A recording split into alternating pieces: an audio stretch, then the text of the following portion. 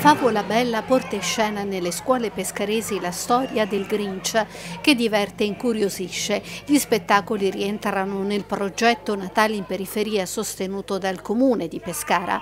Attore per un giorno anche l'assessore alla pubblica istruzione Giacomo Cuzzi nello spettacolo alla scuola primaria Rodari con la compagnia teatrale La favola bella nella storia del Grinch che rubò il Natale. Una visita per inaugurare le tante attività extrascolastiche che anche quest'anno l'amministrazione comunale ha messo in campo per regalare a detto Cuzzi alle scuole cittadine momenti di bellezza, di divertimento e riflessione. Manco a dirlo divertiti i bambini che hanno partecipato attivamente allo spettacolo con gli attori Roberto Di Giulio, Piero Campili, Paola Dintino e Rossella Micolitti. Siamo molto felici, questo lavoro verrà fatto soprattutto focalizzato sulle scuole che da sempre sono considerate periferiche ma non dalla nostra amministrazione sia per gli interventi di manutenzione e di progettazione dei lavori e della messa in sicurezza sia per queste attività che rappresentano un punto fondamentale del nostro mandato.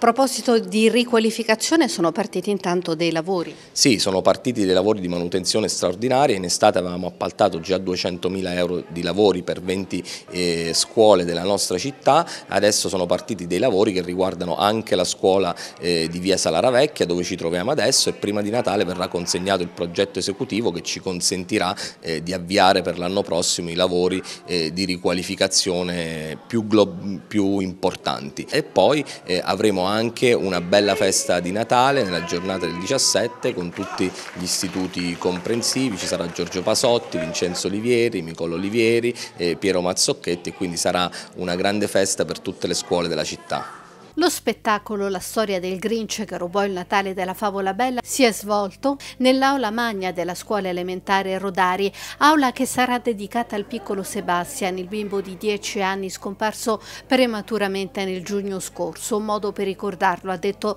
la dirigente scolastica che ha annunciato anche un premio a lui dedicato.